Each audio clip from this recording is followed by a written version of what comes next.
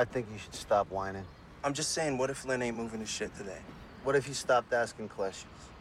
What if you weren't such a dick? What if when we're done here, we go to your house and I rape your mama? What if you find her on top of your dad slamming a big black dildo in his ass while he's calling out my name? Nice touch. Thanks.